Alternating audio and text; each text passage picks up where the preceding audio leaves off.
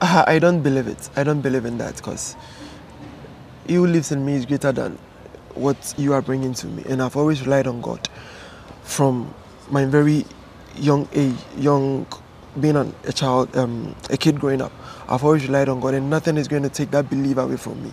Because no matter what you are bringing to me, I know there is some, there is somebody I can counter you with, and you are really going down. So, if you are coming with your juju and I have my God, okay, let's go out on the field, and then let's see who is going to come out.